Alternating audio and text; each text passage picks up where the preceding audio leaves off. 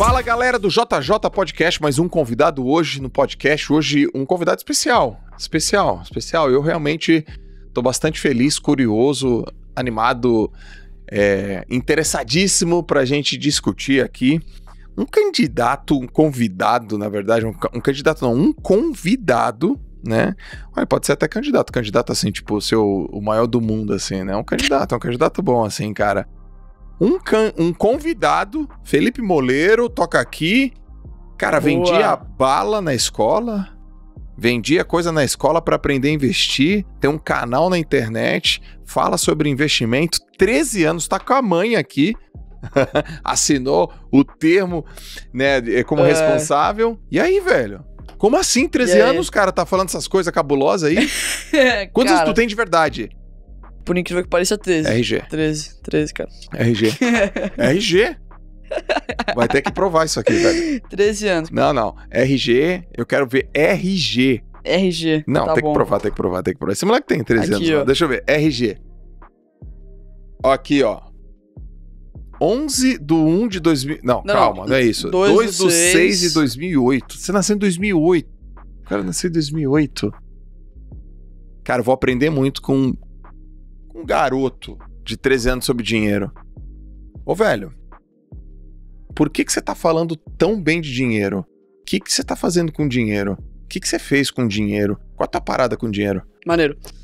Cara, eu não sei porquê, mas desde sempre, por algum motivo, assim, a parte, eu queria ter dinheiro, tá ligado? Porque acho que foi uma parada muito convívio, assim, que eu, que eu ouvi as pessoas falando que dinheiro era bom, tá ligado? Pra ter estabilidade, pra não sei o quê.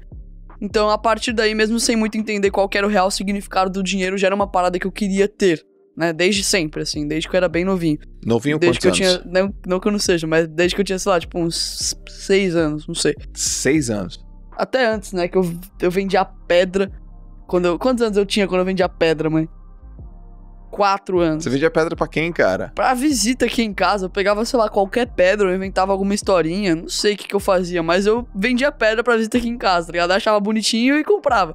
Mas, cara, desde sempre, assim, é, eu, eu queria ter dinheiro. E aí, uh, com seis anos eu comecei a gravar vídeo pra internet, foi, não deu certo, com sete também, oito, nove, dez e tal. E com. YouTube. E, exatamente, YouTube. E aí, cara, com nove anos, dez anos mais ou menos, eu fiquei realmente curioso, né? Olhando postagem no Instagram, eu fiquei curioso para saber como que o povo conseguia ao redor do mundo ganhar dinheiro. Porque vendo, tipo, umas postagens no Instagram, eu via o povo compartilhando foto de uns carrões, assim e tal. Eu devia seguir umas hashtags, tá ligado? Tipo, hashtag mansion, sei lá. Aí apareciam umas mansões assim, eu ficava, caramba. Aí sempre aparecia o preço lá, né? Tipo. Aí eu via, caramba, moleque, é muita grana. Como é que, tipo, o povo tem tanto dinheiro assim, né? Porque se constrói isso, tá? esse é o preço, é porque alguém paga. Sim. E aí eu fui, eu fui pesquisar. E eu fui realmente atrás disso. Eu pesquisei as pessoas mais ricas do mundo, abri a lista da Forbes ali, peguei ali cada pessoa e pesquisei um pouco sobre a vida delas, sobre a vida de cada Quanto, uma. Quantos anos você tinha? 10 anos, mais ou menos. 10 anos. E aí, a partir dali, eu, eu realmente estudei um pouco sobre a vida de cada uma delas e eu vi que, algum, que todas tinham em comum o fato de, de que elas investiam e elas empreendiam. Hum. E a partir disso eu vi, né, que tinham coisas que eram bastante em comum. Leitura, todas elas praticavam atividade física, tudo. E a partir daí eu falei, pô, tem uma parada especial aqui, né? Então eu fui estudando cada vez mais. E aí, obviamente, jogando esse termo aí, investimentos, por exemplo, empreendedorismo, a primeira pessoa que aparecia era o primo rico lá, né? Uhum. Aí eu ia lá, estudava, via vídeo dele, ia lá, comprava um, um, livro. O primeiro livro que eu li foi Pai Rico, Pai Pobre. Tá. Isso com 10 anos. Aí a partir daí eu comecei a investir, depois de um tempo que eu, que eu tava assistindo e tudo, que eu vendi umas paradas na minha escola, né? Porque eu não tinha dinheiro para investir. E aí meu jeito de conseguir a grana foi vendendo coisa na escola. Peraí, então você foi pra escola, levou alguma coisa. O que, que era que você vendia na escola? Cara, eu cheguei a vender algumas coisas na minha escola. Eu cheguei a vender bala e chiclete na minha escola. Isso é uma parada que eu não contei pros meus pais, que eu achava que eles não iriam deixar, porque não podia, teoricamente, né? A cantina não ia deixar eu fazer isso. Aham. Uhum. E aí eu. Mas mesmo assim eu fiz, aí eu não contei para eles, eu falei que era pra mim a bala. E a gente foi lá, comprou assim e tal. E aí foi sumindo, assim, as balas lá do, do negócio da, da cozinha, né? Porque uhum. eu tava vendendo na escola. Passou um tempo eu também vendi livro na minha escola. Cheguei a vender suco também, que a gente Mas fez como uma Como é que você vendia feirinha. livro? Você comprava o livro... Era, então, a parada foi livro que, assim... Eu tava no quinto ano, acho que foi no quinto ano. E aí eu usava os livros na escola. E, pô, depois que eu comprei o livro, li na escola, não tinha mais o que fazer com ele, né? Porque eu já li e tudo, não era assunto que me interessava mesmo. E aí eu olhei a lista do- dos livros escolares dos outros anos, dos anos que eu já tinha passado. Tá. E a lista não tinha mudado. Então as pessoas teriam que comprar os mesmos livros. E aí, a partir daí, eu peguei e fiz um bando de panfletinho eh, falando o preço de cada livro e fui distribuindo nas salas, pedindo pros, pros meninos entregarem pro, pros pais, tá ligado? E aí, com isso, no dia seguinte, um bando de gente veio me procurar, falando que queria comprar os livros e tal. E, pô, aí eu comecei a vender vários livros e tudo. Eu chegava no filho e falava, pô, é só é pai pagar mais barato, sabe? Aqui tá, o livro tá em boa condição, eu mostrava tudo. E aí eu vendi, eu vendi todos. Todos os livros que eu tinha ali. E aí, pô, vendendo bala eu fiz, sei lá, 100 reais. Acho que não chegou a isso. Vendendo livro eu fiz uns 200 e pouco. Mas o que me deu uma, uma grana maior foi vendendo suco. É, a gente foi fazer uma feirinha de, de, de venda, assim, na, na, na escola. E a minha escola é muito grande, né? Então, ser muita gente vendendo, pensei foi o seguinte: olha, vai ser um dia calor, né? E a, e a minha escola é muito grande, então alguém vai estar vendendo bebida, provavelmente, né? Eu falei, pô, eu quero vender bebida, porque eu acho que, pô, bebida pode ser uma coisa que vai ter uma margem alta, né? Eu vou conseguir comprar barato, vou conseguir vender assim e tudo mais, vai ter um, um, um bom spread ali. Aí eu peguei e falei, pô, beleza, eu vou vender bebida. Só que minha escola é muito grande, mais gente vai estar bebendo, vai tá vendendo bebida. Então eu falei, pô, tem que achar alguma coisa de diferente aqui.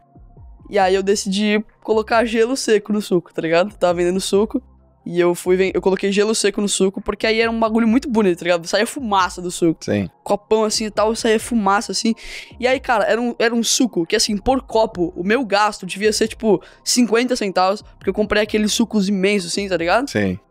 E aí eu vendia por tipo 9 reais, tá ligado? Porque era, uma, era a experiência de comprar um suco que saía fumaça, tá ligado? Eu não tava vendendo um suco, eu tava vendendo a experiência ali de um suco diferenciado. E aí, Muito cara, bom. o povo pagava, tá ligado? E aí? E eu pude escolher onde que ia ficar a minha barraquinha. Então, a minha barraquinha foi, era a primeira do colégio. Então, você entrava aqui no colégio, a minha ficava aqui já. E aí o povo começava daqui, a minha, minha barraquinha era a primeira aqui, ó. Que aí, pô, o povo já estava mais apto a comprar, né? Já não tinha gastado muito dinheiro. O meu seria a primeira compra. E, pô, também o cara ia tomando durante o negócio. Aí, às vezes, aconteceu de pessoas comprarem mais de uma vez. Comprou a primeira vez ali, deu a volta na escola, foi, voltou e comprou mais um. Então, aí, com isso, eu lembro que eu fiz um bom dinheiro. Eu não lembro exatamente qual número que foi. Foi alguma. Foi ou 532 ou 832 reais. Mas foi por aí, assim. Tanto que eu vendi tanto De lucro. de lucro. Tá bom. Eu vendi tanto que a minha mãe teve que sair durante é, o evento por- Pra pra comprar comprar mais mais. suco, porque tinha acabado. Eu fui a barraca que mais vendeu. Eu tava no sexto ano. E era o povo do sexto até o nono ano que tava fazendo isso. Então era muita gente vendendo. Eu fui a barraca que mais vendeu fazendo isso. Aham. E meu professor ele tinha botado uma pressão, né? Ele falou: ó, se você não for a barraca que mais vendeu, eu vou ficar decepcionado com você. Eu falei: caraca, então beleza, eu tô com pressão aqui, eu vou fazer, tá ligado? Aham. Eu funciono bem sob pressão. E aí eu fui lá, fiz e deu tudo certo.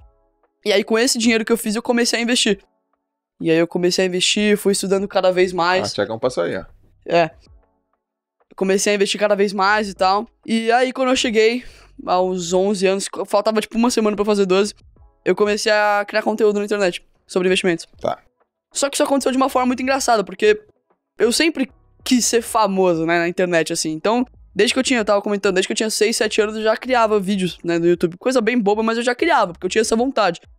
E nunca nenhum deu certo. Nunca nenhum passou de 100 inscritos.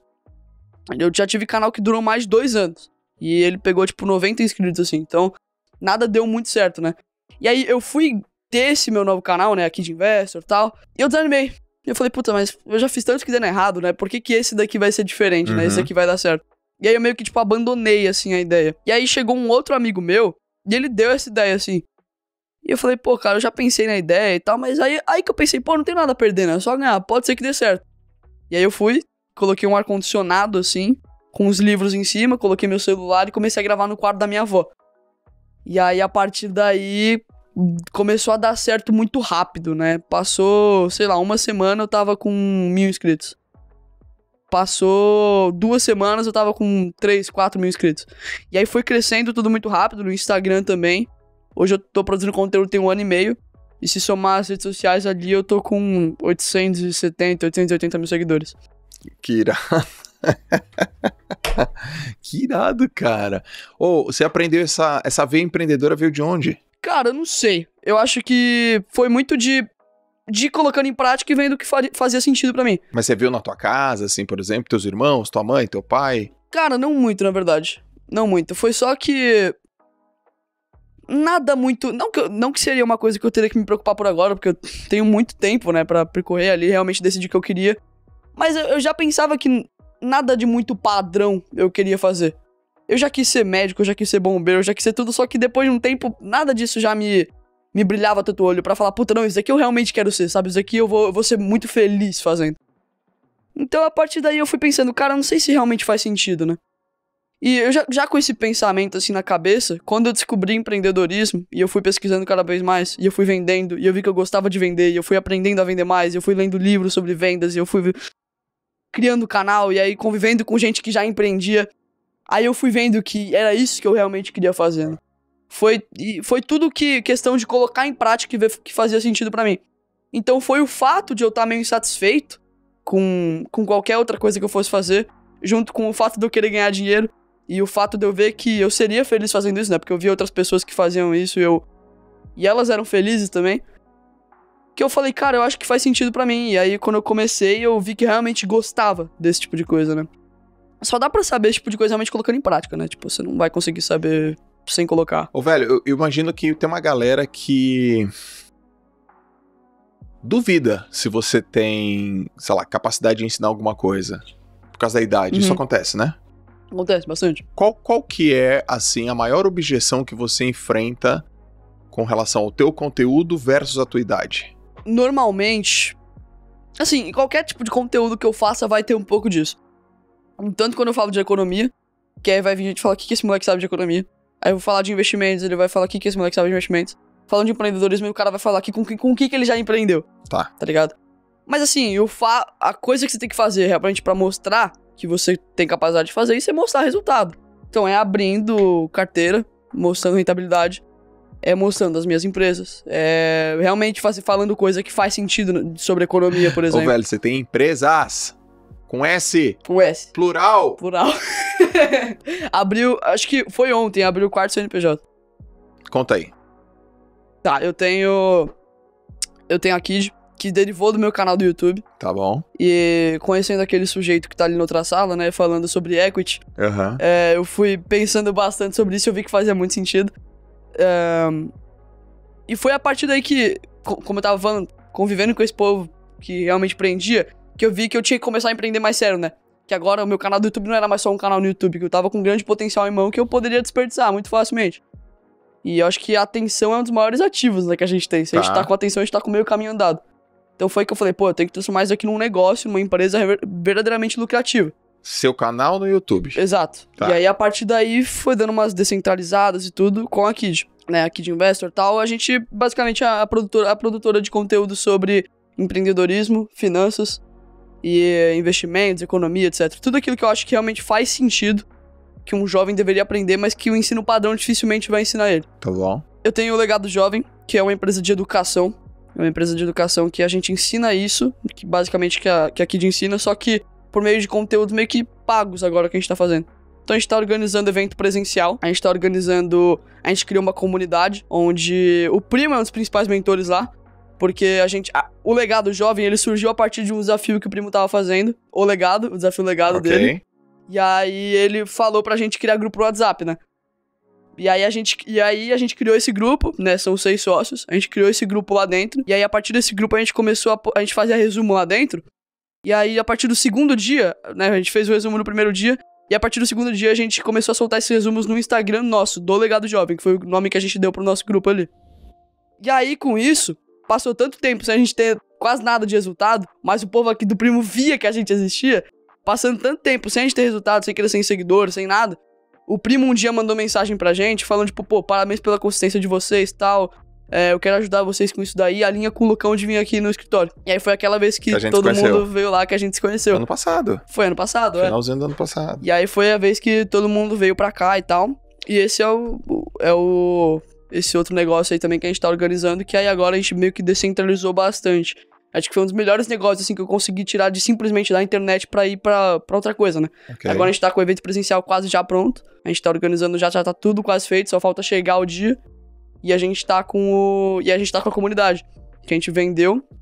o primo falou pra gente vender 37. Aí a gente vendeu 74, né? Pra dar o dobro ali. Uhum. Ele falou: Ó, vou fazer o desafio aqui pra vocês. Se vocês conseguem até tal dia, era tipo uma semana assim, vender 37. Aí a gente falou: pô, 37 o quê? 37 vagas pra comunidade. Tá bom. Por ligação de telefone, né? Tá bom. A gente falou: pô, tem que fazer mais do que pede, né? Vamos vender 74 aqui. A gente vendeu 74, 75 agora. E aí.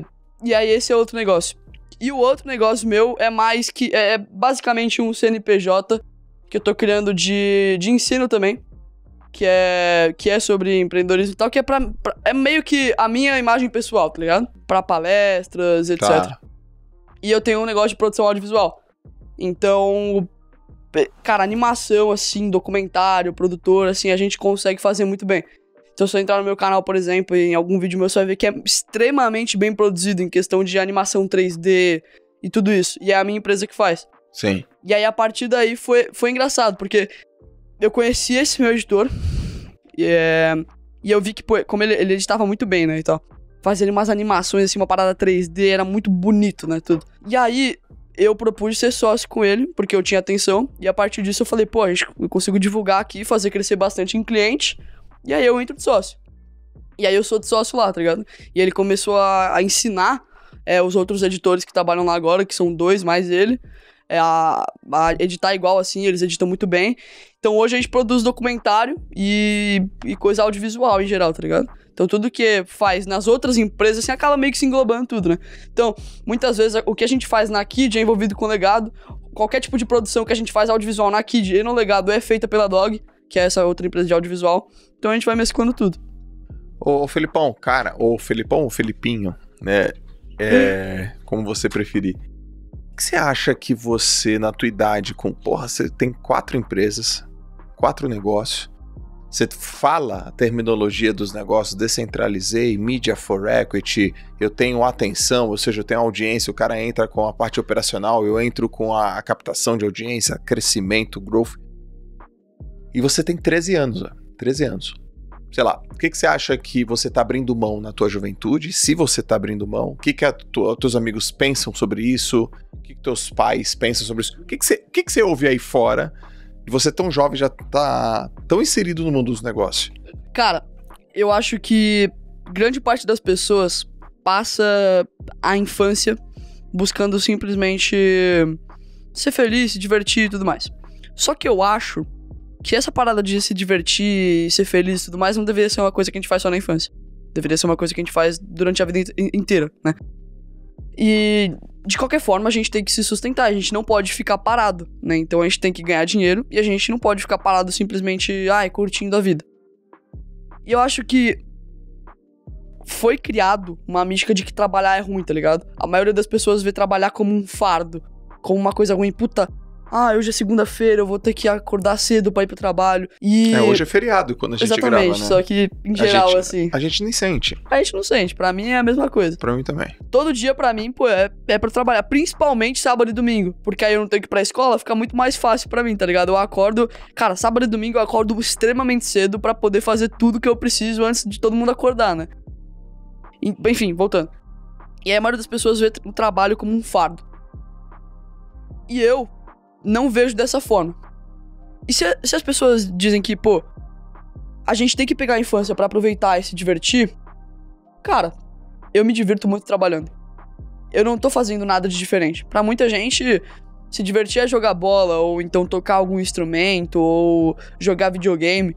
Pra mim, a minha diversão é meu trabalho. Óbvio que não é porque. Eu, eu odeio aquela frase de que, ai, trabalhe, você, trabalhe com o que você ama e você não vai sentir que tá trabalhando nunca mais. Puta, baboseira total. É óbvio que vai ter muita coisa dentro do seu trabalho que não, às vezes você não gosta. Você vai sentir muito estresse. É burocracia, é coisa chata, é difícil. Com certeza é muito difícil. Só que eu gosto muito, sabe? Aquele tipo de aquele tipo de estresse que é gostoso, sabe? Eu não sei explicar muito bem. Mas é aquilo que realmente me dá um brilho no olho. Então, muita gente se diverte fazendo coisas diferentes. E eu tô, eu tô me divertindo com uma coisa que as pessoas normalmente não fariam, né? Com a minha idade. E às vezes mesmo nem tem na minha idade, né? Sendo mais velho. Então, cara, eu só vejo coisa boa no que eu faço. Porque eu me divirto muito fazendo. Eu não tô abrindo mão de diversão. Eu não tô abrindo mão de nada na minha vida. Porque eu ainda consigo, por mais que. óbvio, né? Eu consigo. Eu tenho que abrir mão, às vezes, de certas coisas, mas eu consigo manter uma vida, entre aspas, equilibrada, no sentido de que eu sou jovem. Então, no que eu precisar sair, por exemplo, pra ir, sei lá, uma festa, fazer alguma coisa assim, cara, eu, eu vou, porque eu sei que. Que eu não preciso deixar isso de lado, tá ligado? Até porque eu sou jovem. Tem que equilibrar as duas coisas. Então, cara, eu só tô misturando, fazer uma coisa com que eu, que eu amo fazer, eu gosto muito de fazer. E misturando eu ganhar dinheiro, tá ligado? E aí, quando eu chegar, quando eu for mais velho ainda, eu, eu vou estar tá trabalhando ainda com uma coisa que eu amo, então eu vou estar tá sendo muito feliz trabalhando. Eu vou estar com muito mais dinheiro do que a maioria das pessoas. Simplesmente porque essas pessoas criaram a mística de que trabalhar cedo é ruim. E pelo fato de não terem estudado antes, pelo fato de não terem se exposto a experiências que fariam elas evoluírem profissionalmente, vão começar a trabalhar com coisas que muitas vezes não gostam e não vão ter experiência, não vão ter capacidade financeira para ir trabalhar com uma coisa que gosta. E aí vai passar a vida inteira sendo dependente de ganhar dinheiro e sendo escrava do dinheiro, trabalhando numa coisa que não gosta. E você isso trabalha mim depois da escola? Você trabalha des- depois da escola? Como é que Exato. funciona? É, eu, eu estudo. Eu estudo entre 7 e meia e meio dia e meia. Aí eu acordo, sei lá, 5, 6 às vezes. Uhum. Às vezes eu faço. É que assim, cara, trabalhar de pôr a mão na massa, aí eu devo fazer, sei lá, 5, 6, 7 horas por dia. Só que aquilo que eu faço, só que, tipo, de trabalho, assim, que tá na cabeça, aí é 24 horas por dia, tá ligado? Não Sim. tem como desligar. É simplesmente impossível. Porque, no- no- novamente, é uma parada que eu gosto de fazer. E eu, como empreendedor, também não posso me dar o luxo de, ai, falar, não, ai, agora eu vou.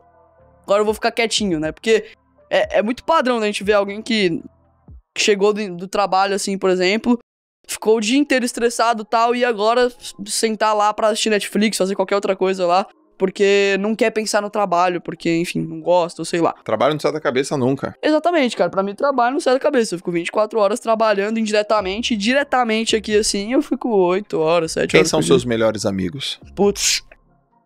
Cara, meus melhores amigos... Putz, tem vários, pode ir falando aqui? Pode. Tá bom. Tem o Luiz, que ele produz conteúdo na internet também.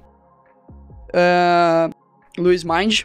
E, cara, ele foi a primeira live que eu fiz na minha vida, foi com ele. Qual a idade dele? Ele tem 24 anos. Ele, ele, ele tinha 5 mil seguidores, ele me chamou pra uma live. Foi a primeira live que eu fiz, eu tinha 200 seguidores. E aí a gente fez a live e tal, e ele gostou muito de mim. A partir daí a gente foi conversando bastante e tal. Eu tinha 200, 300 seguidores quando a gente fez a live. Hoje ele tá com 12 mil, mais ou menos. O Breno Perrucho. Pô, cara, gente boa demais. Gosto muito dele também. O Davizinho lá, que a gente se encontrou lá no CNN também. Eu gosto bastante do Davi. O Bruno Melim, que é um outro menino que produz conteúdo também. Ahn, Cara, eu vou esquecer de alguém, aí depois vai ficar muito feio, tá ligado? Que alguém vai me mandar mensagem e não é por mal, tá ligado? Tem mais gente, eu sei que tem mais gente, só que agora É. eu simplesmente deu branco, tá ligado? Tem gente que eu converso no dia a dia aqui que eu esqueci, mas vai, o João Vitor Patrocínio, que é um dos sócios lá no legado. João Vitor Simões, que é outro sócio do legado.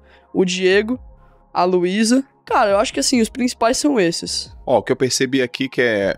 Bom, os principais fazem parte do teu ciclo Sim, e todos mais velhos que você. sim. Não tem um cara na escola, não? Tem, tem. O Bruno. Ele também tá empreendendo? Sim. Não, não, não, deixa. Não. Não, mas ele investe. Ele investe. Ele investe, mas não empreende. Não tem um cara que não investe, que não empreende, que só vai pra escola? Acho que não. Então, como é que, como é, que é a tua rotina na escola? Você tá na escola, tal, a professora tá falando aquele negócio todo, e aí a turma, porra, e aí, velho, vamos ali, sei lá, jogar uma bola. Ou. Nem sei se tem quadra no que joga bola. Na minha época, Tem, tem, na tem. minha época tinha um tem. tal de recreio. Nem sei se é recreio hoje. Tem, tem, existe. E aí a gente batia uma bola lá no, no galpão lá. A gente batia uma bola. Isso rola? Rola, rola. Rola bastante. Rola bastante. Rola, Você eu jogo basquete. Você curte esporte? Gosto. Basquete. Eu jogo basquete. Legal. Dou aulas no basquete, né? Modéstia à parte, assim. Mesmo tendo meus 1,58 de altura, sei lá. Cara, eu tô de frente pra um moleque de. Quando eu falo moleque, porra, Sim, sim. um menino de 13 anos, podia ser meu filho. 13 anos, quatro empresas, tá na internet, quase um milhão de seguidores nas mídias, fala de negócios, amigos são os amigos. os- eu conheço boa parte da turma que você falou aí, porra, Davizinho, Perrucho, conheço a turma. Você tem uma visão de negócio influenciado pra caramba pelos caras da internet, influenciado pra caramba pelo Thiago. Tem mais do que o dobro da tua idade, né? E você com uma visão sobre trabalho, diversão, trabalha depois da escola, tua mãe tá aqui, te apoia, né? Te apoia. Como é que você enxerga, assim, se for possível enxergar a tua vida daqui a um ano? Cara, perfeito que você falou isso, porque. ah, você tava comentando em um podcast, que eu não lembro qual que foi, que você comentou isso, que você tava numa palestra, aí a mulher mandou você fechar o olho mandou imaginar você com 80 e poucos anos. Cara, é muito bom, porque o povo me pergunta, ah, como é que você se vê daqui 20 anos? Moleque, eu não sei, tá Não, ligado? nem eu sei. eu não Eu sei. sei. Fecha os É. olhos, Joel, fechei. Agora se imagina com 80 anos. Eu abri o olho. Eu abri e falei, cara, tá, tá muito longe. Agora se imagina andando num campo, numa grama. E aí eu falei, cara, tô com 80 anos na grama, deve estar cheio de mosquito aqui, cheio de, de formiga. Não, não, não, não me conectei nem nada com aquilo, nada. Por isso que eu te perguntei, cara, nessa toada que você tá, um aninho. Um ano, perfeito, cara. Olha, um ano eu pretendo estar impactando muito mais gente do que eu impacto.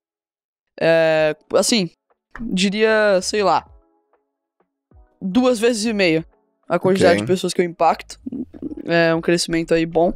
Sei lá, 250%. Não, é, 250%. Ah, isso não só necessariamente de número de seguidor, mas o resultado ele se vê muito de outra forma, né? No começo do ano, eu coloquei como uma das metas, né? Naquela época eu só produzia conteúdo de investimentos, eu não falava nada de empreendedorismo. Então, na- no começo do ano eu coloquei como meta que eu queria fazer com que o número de pessoas que abrissem conta em corretoras é, para investir em bolsa de valores de pessoas de até de 15 anos passassem de 20 mil pessoas. Até 15. De até 15 anos passassem de 20 mil pessoas até o final desse ano. Porque eu sei que eu posso não ser responsável por 100%, mas eu tenho certeza que eu sou responsável por um grande número dessas, dessas pessoas aí. Muitos deles não são meus seguidores. Só que eu fui. Olha os caras aí. Eu adoro gaulês. Gaulês, Thiagão. Fanzaço. Então, muitas pessoas que investem hoje, começaram a investir nesses últimos tempos aí, que tem tipo até 15, 16, 17 anos, não necessariamente vieram diretamente de mim, né? São meus seguidores. Só que, pô, eu fui o primeiro ou o segundo, sei lá, influenciador a falar sobre, sobre investimentos para menores de idade. E eu fui o primeiro a ter grande relevância. Tá. Depois de mim, surgiram incontáveis. Não que seja um problema de forma alguma, tá ligado? Eu não falo isso como coisa ruim, não. Eu falo isso como coisa perfeita. É até bom, porque, é bom. é, além de, se- de se alinhar muito com o meu propósito, ainda me beneficia, né? Porque, pô, fazendo isso, o nicho cresce. Se o nicho cresce, eu cresço. Então, pô, perfeito. É, e aí, a partir disso, surgiu incontáveis que fazem o mesmo tipo de conteúdo pra jovens, por minha causa. Então, cara, é, indiretamente, diretamente, assim, a maioria dos números eu nem consigo ver pela minha quantidade de seguidores. Eu vejo em estatística de número. Ai, por notícia, tá ligado? Tipo, ai. É, números de contas de até 15 anos na bolsa de valores cresce e tal. E eu coloquei a meta de fazer 20 mil. Acho que o ano começou com 12 mil. E agora tá 22. Legal. 22 mil, 22, 23 mil. Então, fazer esse número aí crescer, mano, umas duas vezes, pelo menos, aí no próximo ano. Que eu acho que tem muita bagagem pra isso acontecer. Crescer em número de seguidor também, né? Por eu, eu individualmente ter mais atenção e conseguir, né, depois transformar esse dinheiro. Então, ganhar mais dinheiro também aí. Tá ganhando, sei lá, duas vezes também, três vezes o que eu tô ganhando. Acho que é um bom número pra eu conseguir investir mais e tudo. Mas, cara, grandes partes das minhas metas, elas são meio entre aspas, incontáveis, assim. Porque eu sou um cara que. Não incontáveis, eu posso dizer, tipo, no sentido de. Não conseguir met- metrificar muito bem, né? São intangíveis. Intangíveis, isso, perfeito. Porque eu sou um cara que eu gosto muito de, tipo, confraternizar, por exemplo. Né? Eu gosto muito de conhecer gente, fazer networking e tal. E você não consegue contar, tipo, ah, eu quero estar com tantas pessoas a mais na minha rede de contatos, tá ligado? Eu quero, Sim. cara, eu quero simplesmente crescer o que eu já faço hoje, fazer em mais escala. É, eu tô com. fazer com que as minhas empresas cresçam, meus novos projetos deem certo. E é isso, tá ligado? E crescendo aí na medida do que for bom aí pra, pra mim. Você falou que começou a ganhar dinheiro vendendo é, livro, bala, doce, suco com gelo seco e tal. E hoje, como é que você ganha dinheiro? Onde que, de onde vem tuas fontes de receita? Maneiro. Bom, hoje eu ganho dinheiro por Google AdSense, né? Então, lá no meu. Lá no meu YouTube. Então, quando você toca no meu YouTube, toca aquela propaganda chata, tu ganhando dinheiro. Ganha em dólar. Ganha em dólar, nu, muito bom ganhar muito em dólar, bom, cara. ganhando em É dólar. mó legal, velho. Você pega assim. Ai, dólar, dólar subiu bastante. Eu, pus, que pena, com aquele sentimento de, pô, maneiro demais, tá ligado? então, ganho em dólar pelo Google AdSense. Eu faço publi no meu Instagram também. É, cara, mês que vem eu vou vender meu. Vou fazer meu primeiro lançamento. Aí vai dar um- uma boa ajuda também aí, vou ganhar mais. E eu tenho, eu tenho patrocínio também. É, de algumas marcas, algumas empresas aí. Ah, como eu tava comentando com você antes também, eu tenho Media for Equity. Então, pra quem não sabe, é tipo. Ah, como eu comentei de uma- daquela empresa lá, é quando você faz propaganda pra uma empresa em troca de participação nela, não necessariamente de, de um pagamento em dinheiro, né? Ah, cara, que mais? Ah, outra coisa que eu, que eu fiz assim, uma vez, foi mais individualmente, assim, que eu vendi. Eu acho que não sei nem se minha mãe sabe disso. Eu vendi pra quatro, quatro cinco pessoas, eu não lembro quantos. Meio que uma consultoria, uma vez, tá ligado? No Uhum. story, assim. Falei, porque, porque era uma, uma parada que, tipo assim, eu, que pra aquela hora faria muito sentido. E muita gente já me cobrava de eu lançar uma parada assim e tudo mais. Aí eu falei, pô, vou pegar aqui, tipo, pra cinco pessoas e vou vender aqui rapidamente. Aí quem me mandaram mensagem no DM. Mas assim, eu nem conto isso, porque, rapidão, que eu fiz isso. Mas assim, cara, a maioria é Google AdSense, patrocínio. Ah, ah, le- uma outra coisa que é legal. Muita gente me pede recomendação de livro, então eu coloco aquele bagulho de associado ao Amazon, tá ligado? E aí dá um bom dinheirinho ali por mês. Mas o que vai começar a me dar mais dinheiro agora são as. É o meu negócio lá de O Legado Jovem, De evento. do evento e de comunidade. Ah, agora a gente tá formando muito. ca- Assim, cara, as minhas empresas eu não pretendo tirar dinheiro muito cedo, não, tá ligado? Eu tiro, assim, só um dinheiro que, que pra mim, assim, faz sentido ter. Só que eu quero formar caixa, né? Pra realmente fazer uma empresa dependente, assim, né? Sem eu ter que ficar colocando dinheiro toda hora. Então, enfim, daqui a pouco o Legado Jovem vai começar a me dar muito dinheiro por causa desse negócio que a gente tá fazendo. A Dog, empresa de audiovisual, daqui a pouco também vai começar a me dar muito dinheiro. Mas eu poderia estar ganhando muito mais do que eu ganho, tá ligado? A maioria das coisas é meio provisionado, assim, ficar lá na empresa. Você podia estar ganhando mais, coi- é, mais dinheiro do que você tá ganhando. Só que eu não pego pra mim. Na verdade, você, você deixa lá, né? Você não pega Exato, você é. Então, assim, pô, eu poderia ter pegado, tipo, o dinheiro que a gente fez em algumas vendas aí no legado, nesse evento que a gente tá fazendo aí e tudo. Tanto na Dog também, empresa de audiovisual. Só que, pra mim faz muito mais sentido deixar lá. E qual é a relação do. Como é que é a relação dos teus pais com relação a esse teu projeto de vida? Empreendedor, investidor, influenciador? Cara, eu acho que faz mais sentido a minha mãe falar, né? É, faz pelo amor de Deus. Vem aqui, vem aqui, vem aqui, vem aqui, vem aqui, vem Explica aqui. aqui, explica aqui. Vem aqui, vem aqui, Felipe. vem aqui.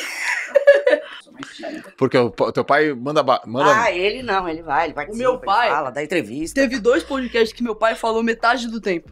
Que ele vai comigo e, aí o, e o povo adora meu pai, tá ligado? é? Aí meu pai chega lá, assim, faz amizade, e depois durante o podcast a pessoa acaba chamando ali pra falar junto, tá ligado? É mesmo? Como é que é essa relação pra você? Que é a mãe, putz, ele tem 13 anos, fala bem, se comunica, já tem uma visão É meio puta assustador. diferente, assim. Eu, é, antes da gente, né, É meio é, assustador. dar o play, eu falei, meu, que a gente tá fazendo com 13 anos, né? É, é meio assustador porque você começa a escutar, né? Tá perdendo a infância, Aham. tá deixando de viver a vida. Daí, às vezes, eu até. Ele me fez prometer que não ia olhar comentários mais em vídeos dele. Porque sempre tem isso. Tá perdendo a infância, tá deixando de viver a vida, vai jogar bola. Aí eu vejo meu filho em casa, sabe? Ele é daquele que ainda dorme abraçadinho com a mãe, Uhum. dorme na cama com a avó, pula na cama igual criança de 5 anos, a mãe ainda briga pra tirar a toalha, molhar. Então, assim, ele é criança, ele não tá perdendo a infância. Sim. Ele quer sair com a amiguinha, amiguinho da escola pra ir dar uma volta no shopping, ele vai. E vamos falar a verdade, nos dias de hoje, com 13 anos, a molecada joga bola, brinca de bolinha de gude, o que, que eles ficam fazendo? Sim. Você conhece alguma criança dos 7 anos até os 13 anos de idade que não esteja de alguma forma dentro de alguma rede social? É impossível. Tá é impossível. Então não adianta a gente se basear numa realidade que não existe mais. Não existe mais. Então no começo foi muito assustador porque, né, nós tivemos seis filhos, todos com uma criação diferente. O Felipe é o mais novo. Ele que pegou as redes sociais, né? Quando eu nasci nem existia rede social. Sim. Então, a gente fica um pouco assustado, te confesso. E, e tem que chegar e puxar a corda, né? Mas assim, quando- vocês olham, por exemplo, o, o dinheiro que entra, você, ou ele cuida de tudo? O dinheiro é dele, o dinheiro Olha, vocês como observam? ele é menor, ele precisa de representantes legais, né? Quando ele entra de sócio nas empresas, eu e meu marido assinamos todos os contratos e a gente verifica. Quando é daqui de Investor, que é a outra empresa, eu sou advogada. Então, além de eu advogar para ele, Ah, que legal. o- que legal nada, é uma droga. Eu preferia qualquer mesmo? cliente do mundo. Menos teu filho. menos o meu filho. É. Primeiro, ele quer que eu trabalhe 24 horas por dia pra ele. Eu tô Olha o tomando contrato aí, banho, porra. ele entra num box e me fala de alguma cláusula de contrato. Ô mãe, e aquela nota fiscal lá? É, sabe? Então, assim, é horrível. Eu já falei pra ele, eu não vou ser mais advogada dele. Ele vai ter Aham. que pagar uma advogada. Aham. Porque se quer que eu trabalhe 24 horas, não dá. Aí eu instituí uma regra com ele que a gente ia fazer. To- Uma vez por semana eu ia sentar com ele como advogado e cliente, a gente ia ter uma reunião. Tá. Mas não rola. Não rola, né? Não, não rola. Oficialmente uma vez por semana. Oficiosamente uma vez por hora, né? É, em termos de dinheiro, eu sou advogado e meu marido é médico. Então, assim, a gente não manja nada de dinheiro. Certo. A gente não sabe nem ganhar dinheiro e nem aplicar dinheiro. Aham.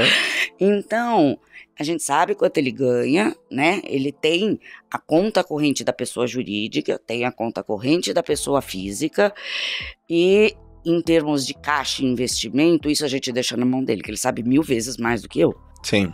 E às vezes, se ele precisar, ele tem assessoria de alguns patrocinadores dele também, Sim. né? Que é de algumas. É, e a turma que ele conhece também, né? Sim, sim. Então, assim, nisso eu não posso ajudá-lo. Né? E, aliás, eu tô aprendendo muito com ele. Ele me ensinou a investir. Ele Aham. tem me ensinado a fazer as coisas. Ele tirou todo o dinheiro da avó da poupança e aplicou. Sabe? E ela tá super feliz olhando lá todo dia o dinheirinho dela maior do que ela via na poupança. Sim. Então é isso, não é fácil, é um desafio muito grande ser mãe de adolescente Uhum. E ser mãe de adolescente que tá trabalhando, né? Que nem quando ele era um pouco menor, eu falava, Felipe, para de fazer isso. Vai distrair. Ele pegava um livro desse tamanho de economia. Aí eu chegava no sofá, ele tava lendo. Eu falava, Fê, eu falei pra você distrair. Ele falou, mãe, mas eu tô distraído, eu tô lendo. Aham. Aí foi o que eu falei, ah, olha, o jeito é apoiar, porque é o que ele curte, não tá sendo pesado pra ele. Pesado pra ele é ficar sem, né? Pesado pra ele ficar sem, e daí ele fica maluco. E é que nem, às vezes, alguns pais já criticaram a gente, eu falo assim, quando o menino tem 6, 7 anos, gosta de bola, a primeira coisa que o pai quer transformar ele é no Ronaldinho, é no Neymar. Não é verdade? Bota esses meninos pra ficar viajando e jogando desde 12, 13 anos de idade. Uma menina é bonita, gosta de ser modelo, a mãe fica lá incentivando ela a virar modelo. Agora, se meu filho gosta de Por que não? investimento, por que não? Tá certo. Não tá prejudicando a vida dele. Ao contrário, tá fazendo bem. Mas eu confesso que não é fácil. Sim. Porque às vezes veio a mãe padrão, aí, e veio o filho padrão, Tá. e a gente fala assim: você pode ser que de investor lá fora, aqui dentro você é meu filho.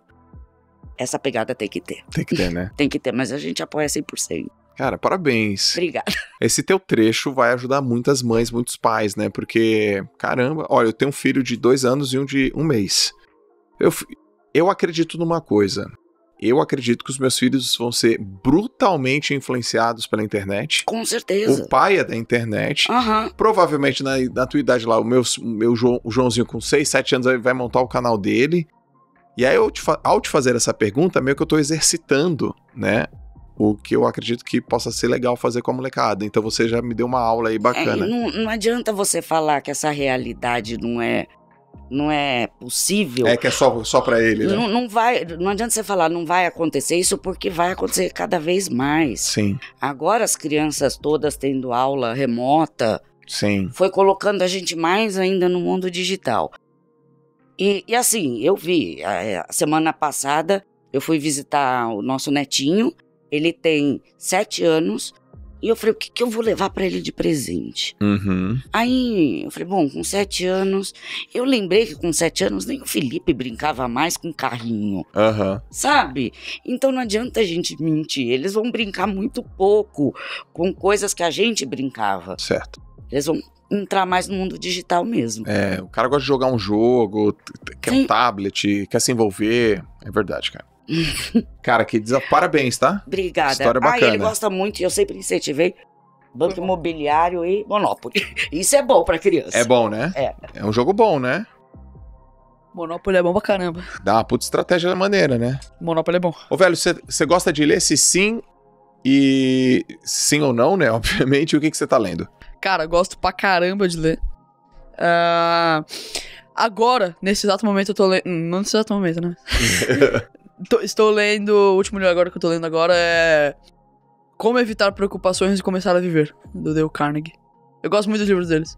Cara, então, você falou dois livros, né? É. Os dois do É. Dale, os dois sobre comportamento. Eu, eu achei que você, sei lá, ia falar psicologia financeira, Morgan House, sabe esses negócios assim?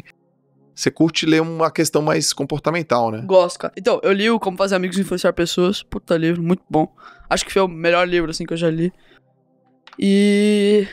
Assim como Pai com o Pai Pobre, cara, é muito bom esse livro também. Tipo assim, pra quem tá começando. Até pra quem não tá começando, às vezes, é uma forma mais simples de ver coisas importantes.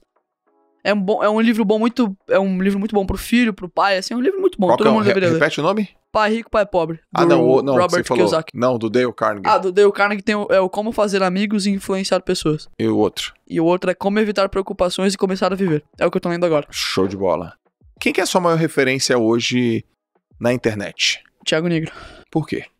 Cara, o Thiago Negro, além dele ter começado um efeito manada, né, no sentido de.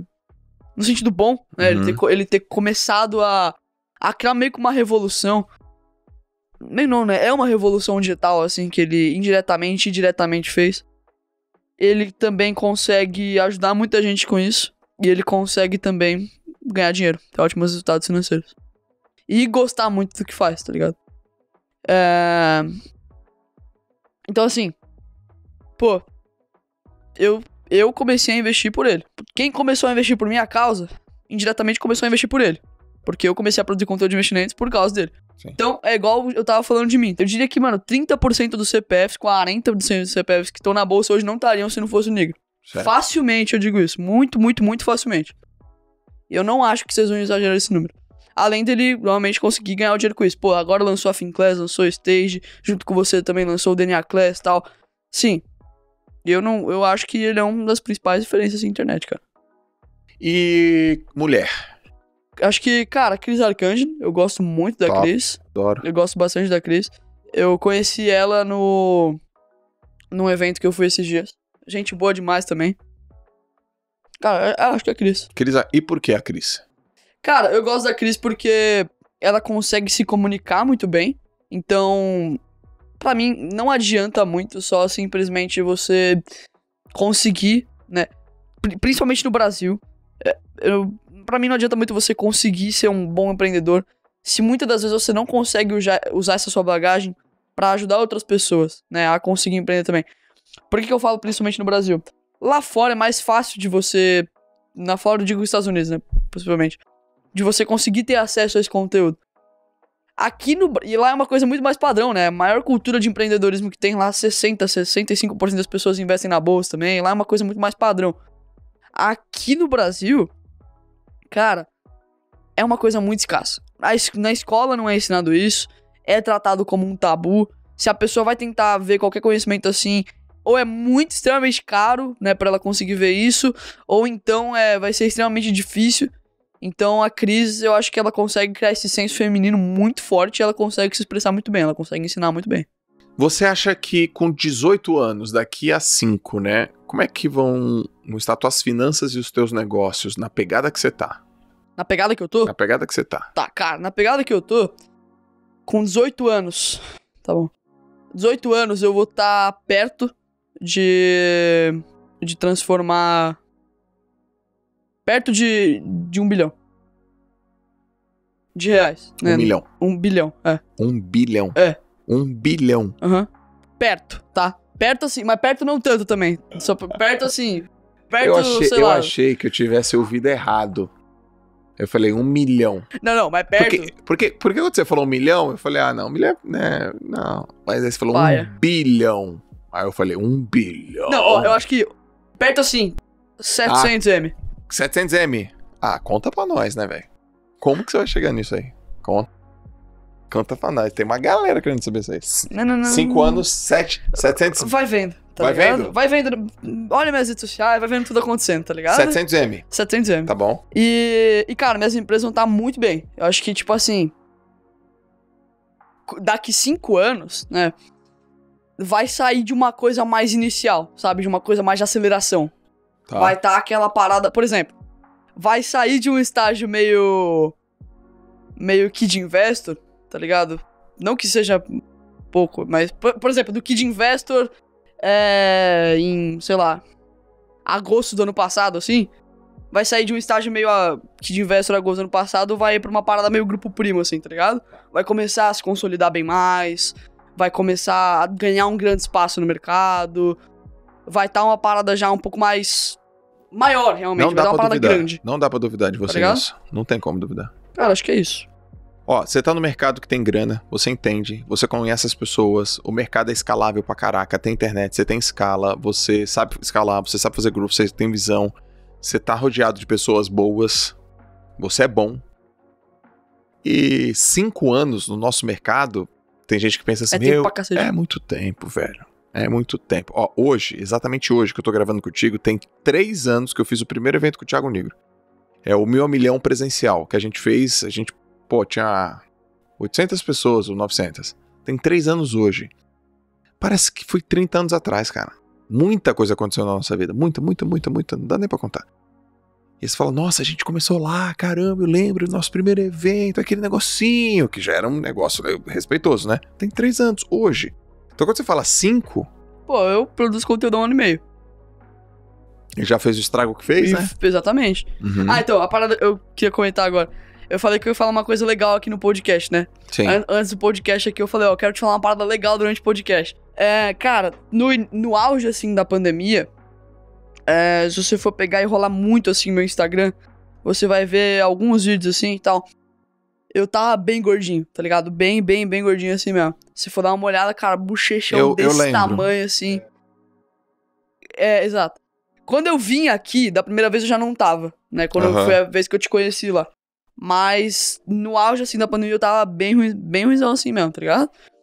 É... Tanto que começou a afetar até minha saúde, tá ligado? Pô, eu tive problema de triglicérides, colesterol, parada tudo, assim. E, e, velho... E aí, mano, vendo seus vídeos, os vídeos do Caio Carneiro, tal, assim, tal, motivação. Às vezes eu colocava no fone de ouvido, tá ligado? Pra escutar assim a correr. Pô, me ajudou muito, velho. É. E aí eu emagreci pra caramba, tá ligado? Pô, eu tinha, sei lá, 1,52. E eu tava pesando, tipo, 48 quilos. Uhum. Eu saí pra, tipo, 40 quilos, 41 quilos, tá ligado? Perdeu 7, 8 quilos aí. Exato. Agora eu tô com 46 quilos, mais ou menos. 45 quilos, eu tô com. Eu não sei. Eu acho que eu não tô com 1,60 ainda, mas eu tô próximo disso. Tá perto, é. Se não for, é, tá pertinho, ó. Tá pertinho. Então, velho, me ajudou bastante com isso daí, cara. Porra, cara, que irado, meu. Vamos imaginar que tem agora. Meu irmão, uns 15% de quem tá ouvindo e vendo isso aqui tem tua idade, ou até 15 ou um pouco menos. Fala uma coisa pra esses caras aí. Qual o conselho que você dá? Você é o melhor cara pra dar conselho agora. Trabalhar esforçado não adianta de nada. Se o trabalho que for esforçado não for um trabalho inteligente. Pô, com certeza a gente pode dizer que um pedreiro trabalha esforçado, tá ligado? Pô, o cara dá muito duro, tá ligado? Trabalha muito tempo, ele dá muito duro. Só que não é por isso que o a quantidade de esforço que ele faz é condizente com a quantidade de dinheiro que ele ganha.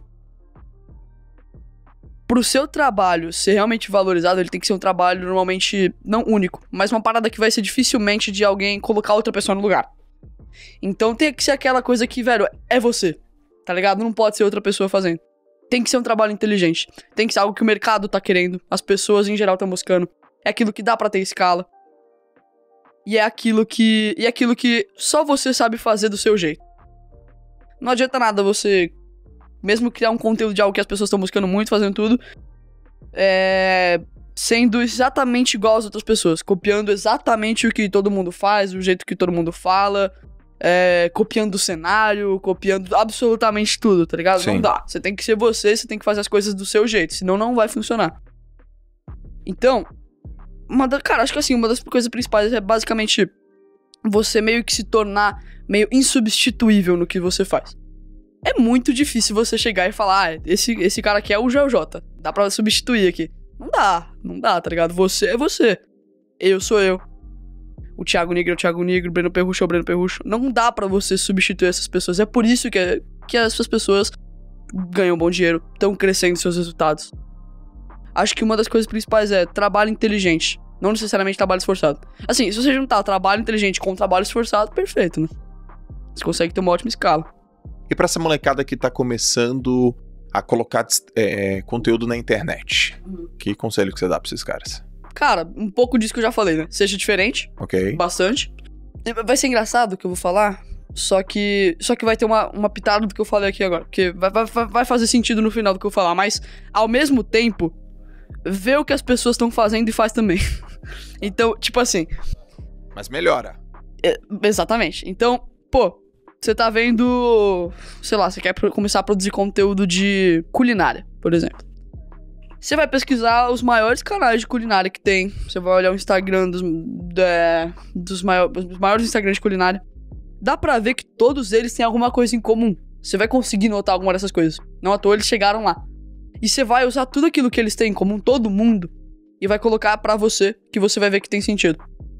Cara, é observar quem deu certo. Isso é o principal. Você tem que observar quem deu certo. E a partir dali, você vai começando a tomar decisões com base nisso. Então você vai ver que tipo de conteúdo que elas fazem, o que, que tem ah, de parecido nos vídeos dela, que, nos vídeos dessa- de todas essas pessoas que traz aquela experiência diferente. E a partir disso você vai colocando o seu jeito de fazer aquilo, né?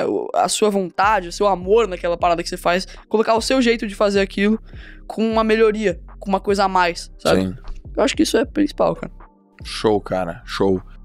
Ah, me diz uma coisa. Um investimento que você fez no último ano de até 100 reais, do qual você fala assim, top. Eu falei que ele ia perguntar isso, não falei? Eu tinha certeza, cara. Cara, no último ano, de até 100 reais. Até 100 reais. Ó, de até 100 reais. Cara, eu não sei exatamente dizer qual, mas provavelmente foi algum Uber, sei lá, pra ver alguém gravar alguma coisa, não sei. provavelmente foi um Uber, velho, sei lá.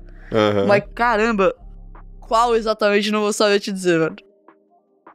E Mas foi no Uber, certeza. Qual foi o hábito que você instalou na tua vida nos últimos 12 meses e que mudou significativamente o teu resultado? Tá.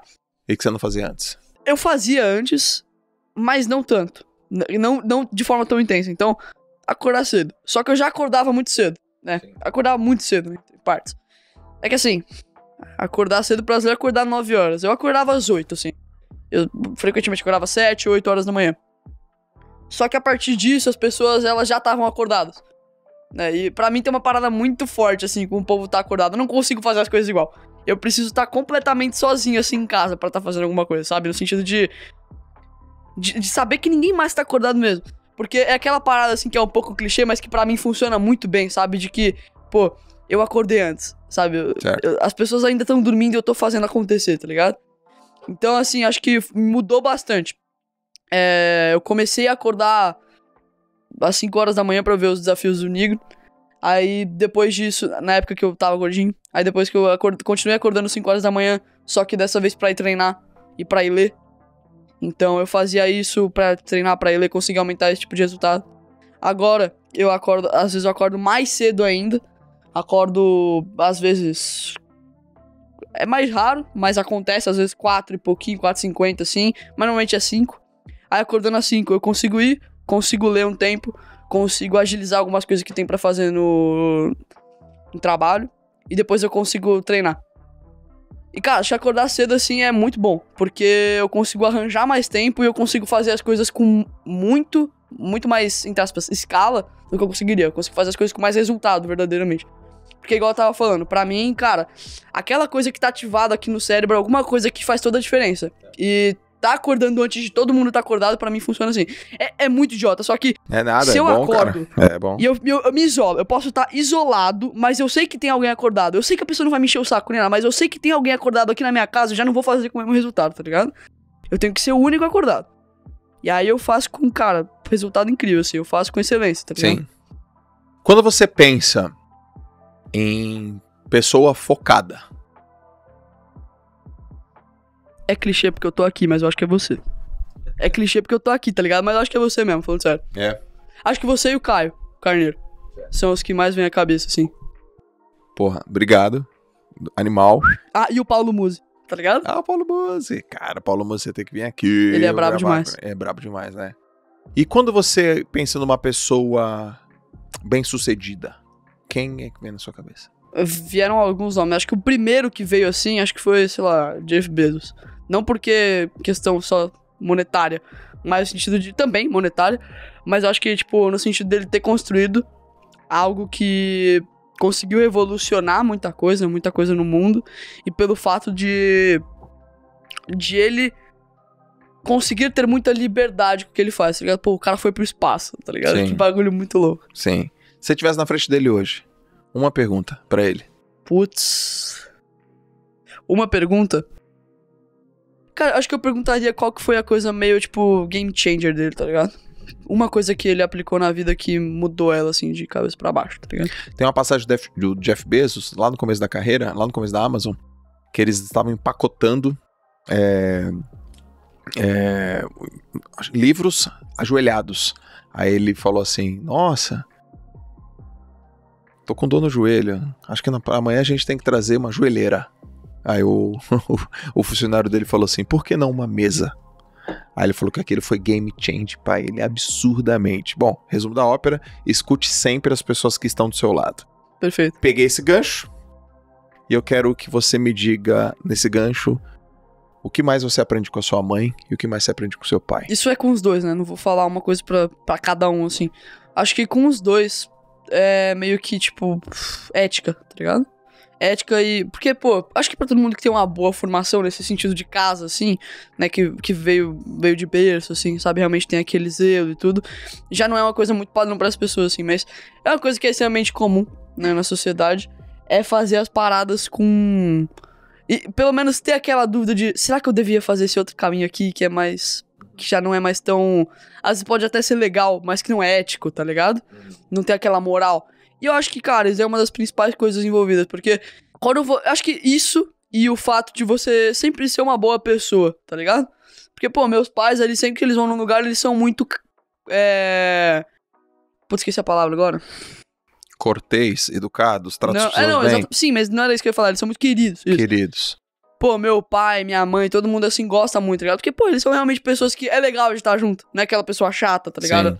É não só, aquela, não só de ser uma pessoa, não só de não ser uma pessoa chata, mas é aquela pessoa que. que tem aquela coisa mais, sabe? Que é realmente legal pra você sentar, bater papo, comer uma pizza e tudo. Então, assim, não à toa, sempre que eu ta- tava falando, eu, vou com meus pais pra algum lugar, ou pra fazer uma palestra, ou pra gravar um podcast aqui tudo. Você tem a oportunidade de conversar mais, você vai ver que, pô, é aquela pessoa que você curte, tá ligado? Meu pai, eu tava falando, como meu pai vai mais pras coisas que minha mãe, até porque minha mãe, ela tinha quebrado o pé. Ah, aí meu pai tava indo e tudo. Você vê que, cara, sempre. Pô, tá ligado o Pit Money? Tem. Então, o meu pai viu o Pit Money umas duas, três vezes. É. Sempre. Não tem uma vez que eu vou ver o Pit que ele não pergunta do meu pai, tá ligado? É mesmo? Eu, pô, eu, eu já vi o Pit, sei lá, mais de 15 vezes. O meu pai viu o Pit duas, três vezes. Aham. Sempre o Pit pergunta do meu pai, tá ligado? É Aham. sempre. Sempre, sempre, sempre. Show. Então, ética, Isso é uma boa pessoa. que legal, hein? Parabéns. Que bonito. Que bonito. É muito bonito isso.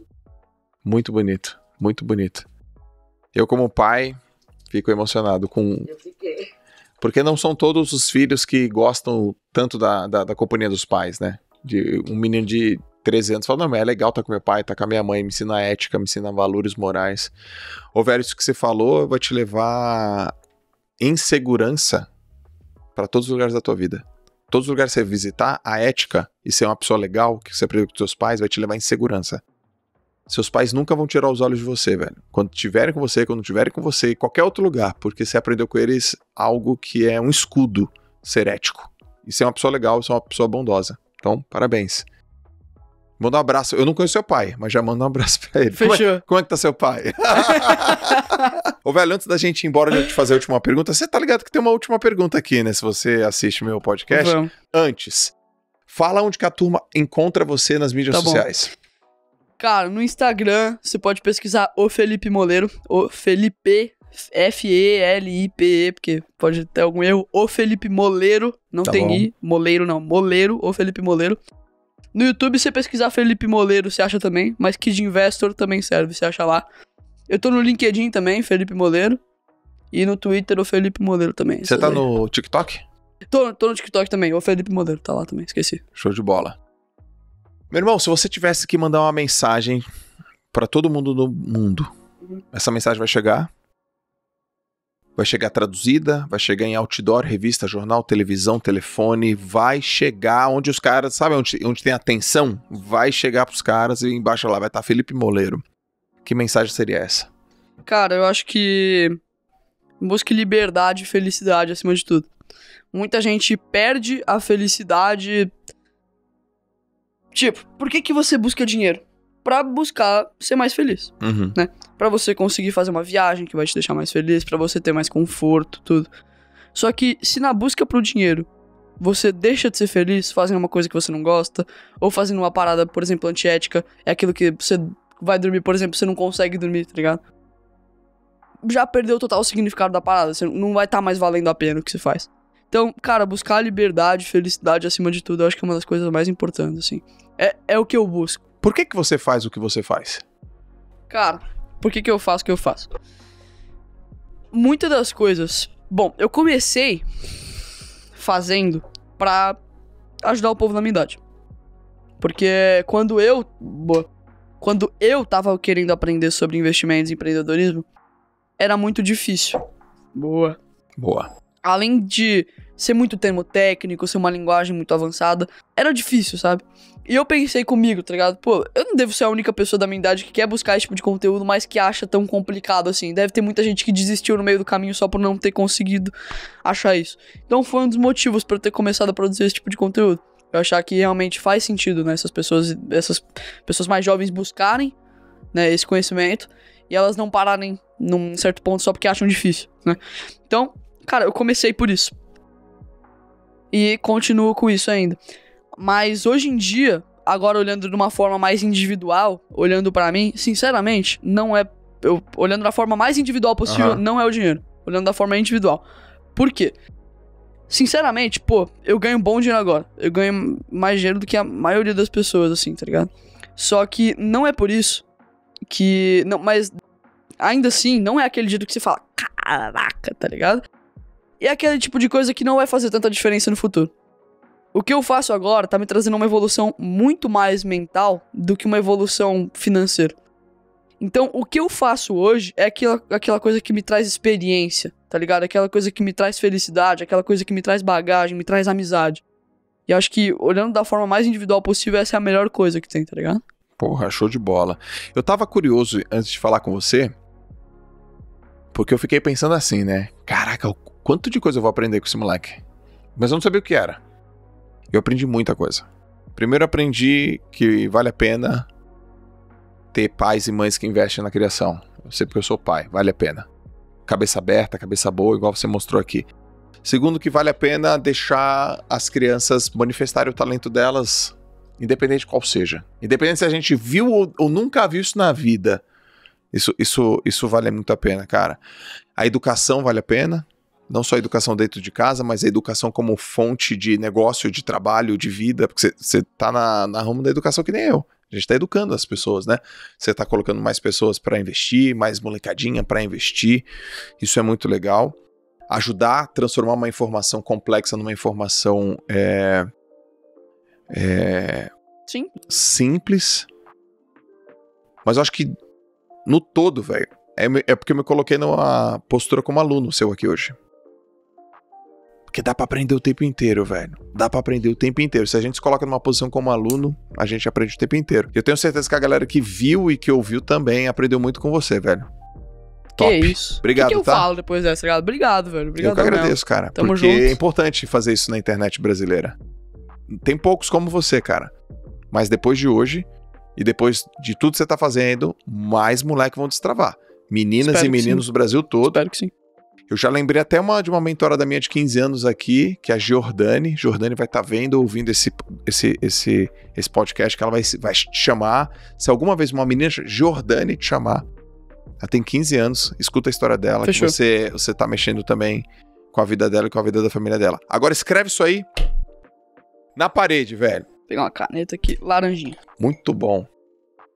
Aquela frase lá, né? Aquela frase lá. Sim, o espaço é seu.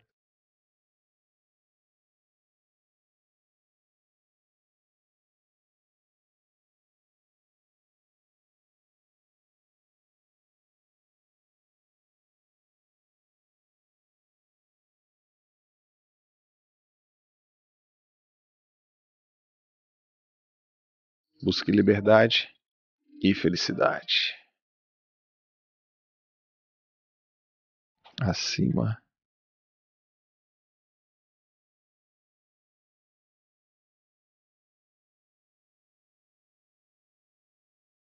Bota teu nome aí.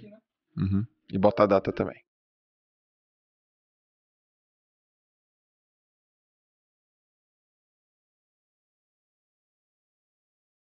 Que dia é hoje? Hoje é dia 15 do 11 de 2021. Show de bola, meu irmão.